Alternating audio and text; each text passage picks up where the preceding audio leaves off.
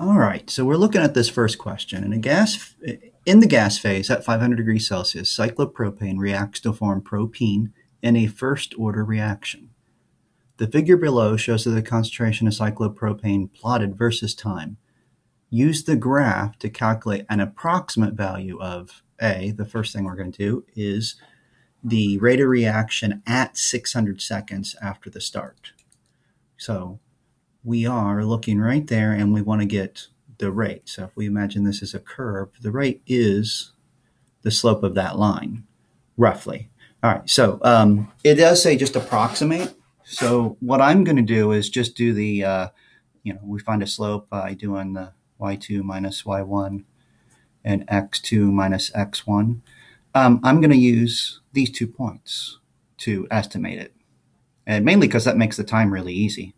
So the uh, the time difference, the bottom of that is just going to be 800 minus 400. And then the only thing that's relatively challenging, since I didn't give you the data, is to estimate where these are on with respect to uh, the y-axis. So I would say that's about halfway through. So this is between there. So I'm going to say this is at 0.025. Yeah. And that one's almost dead in between the two hash marks.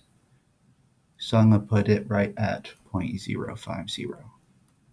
And it does say approximate, so, you know, I might end up with different values than you did.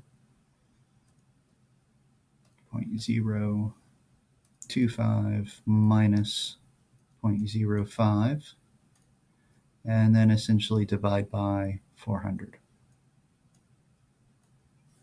And I do get that the rate is dropping by about 6.3 times 10 to the negative fifth. moles per liter second. And I'd be happy with that value. It's a good approximation. Now, I have had people in the past uh, use that as one of the X and Y platforms, and perfectly fine because we are approximating. We want to know approximately the um, slope at that point. And I've even had people um, estimate each one of these, throw it into an Excel spreadsheet, and then calculate a trend line right at that point. And that's actually probably a little bit more precise. Um, but the biggest reason I didn't do it in this case is because I don't have these actual values of these data points listed. So I didn't think there was much need to go into an extreme way of estimating that point. All right, uh, B is actually kind of easy. So this is wrong color ink. That one's kind of easy, um, or, or, B is kind of easy because it just wants to know what the half-life for the reaction is. And we can actually get that from the graph, mainly because it starts the original concentration of 0.01.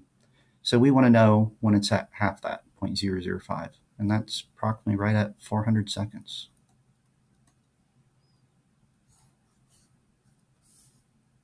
And that gets us through this problem here.